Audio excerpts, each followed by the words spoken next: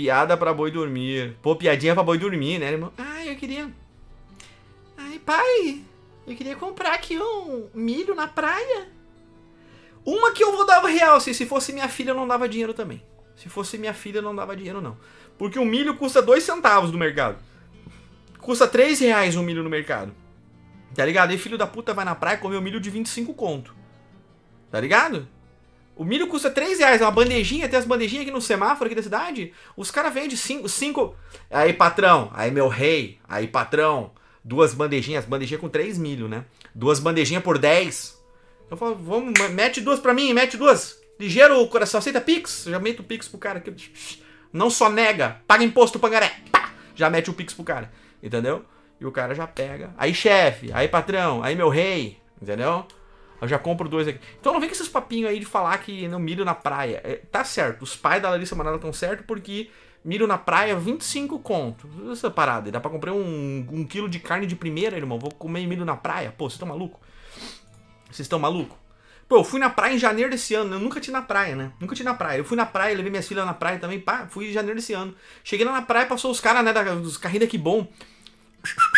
Apertando aquele, aquela paradinha apertando lá o negócio, né? Fofão, fofão. E aí dizer, pai, sorvete, pai, sorvete. Aí eu falei, ô, chega aí, ô, venezuelano, chega aí. Aí chegou o venezuelano lá e falou, e aí eu falei, qual é era? Me vê, quanto é que tá o corneto? E ele, 20 conto. E o, e o de limão, frutário de limão, quanto é que tá o frutário de limão? 8,99. Eu olhei pros lados, né? Procurando as câmeras, né? Pensando, deve estar o Gugu. Daqui a pouco sai o Gugu pintado de preto, né? Daqui a pouco sai o Gugu pintado de preto, né, cara? Fingir que é, que é o Uber, sacou qual é que era? Eu sei que era o Gugu pintado de preto, né, cara? Eu falei, pô, é o Gugu, o Gugu tá fazendo a pegadinha, o Gugu tá fazendo a pegadinha pra ver quem compra sorvete a 20 reais. Eu falei, não vou agradecer, tô tranquilo, tô tranquilo, grande abraço, tô tranquilo. Entendeu? Caminhei, caminhei, né? Eu tava pertinho da, da saída da praia ali, caminhei uns 5 minutos, fui na. Tinha uma sorveteria na esquina. Peguei duas casquinhas, mandei botar no potinho, pedi aquelas casquinhas de sorvete, era quatro pila. Botei num copinho de sorvete, aqueles, sabe aquele sorvete expresso? Sabe? Que ela não derrete, né? Porque é, é feito com isopor e, gordura saturada, né, cara?